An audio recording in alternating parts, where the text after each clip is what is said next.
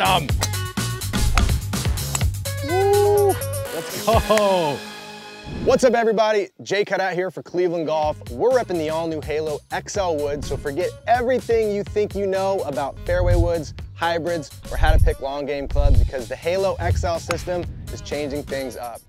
Now I asked my buddy Jeff to let me fit him for a new set of halos so you can see exactly how these would solve your biggest long game problems. Speaking of problems, Jeff, tell me about your long game. You ever been fit before? No, I've never been fit before. I've either just guessed or gone off what I've seen other people's bags. Well, let's go take a look at your numbers, step into my office, let's see what we can do.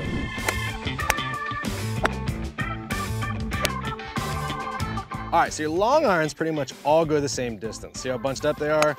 And you got a big old gap between your driver and five wood, leaving a distance dead zone.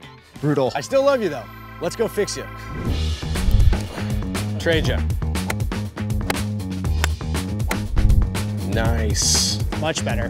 Look at those gaps, dude. Amazing, and it honestly felt so natural too. And now it's your turn, guys. Head to your local golf shop or haloxl.com to get fit for your own set of Halo XL woods. So you can stop duffing your long game and start dominating every par five you meet. Wanna go hit some more balls? Let's do it.